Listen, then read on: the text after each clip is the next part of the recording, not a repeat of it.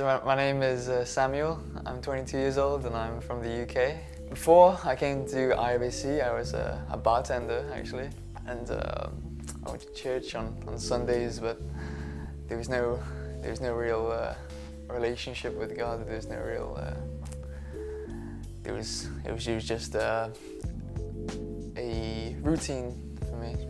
So I had no idea what I was getting myself into when I decided to uh, apply for IBC.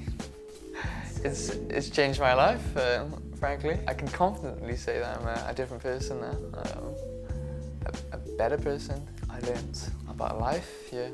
I learned about uh, who I am, but more importantly, I learned who, who God is and uh, that uh, being uh, follower of Jesus isn't just a a thing you do on Sundays. It's a, it's a whole, um,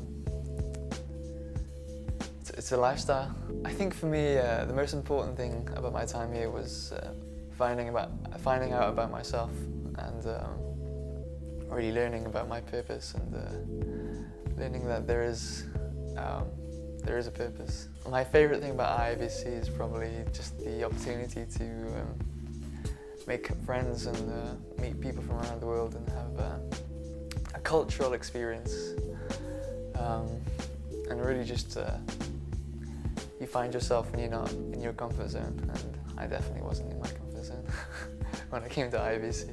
Thank you IBC.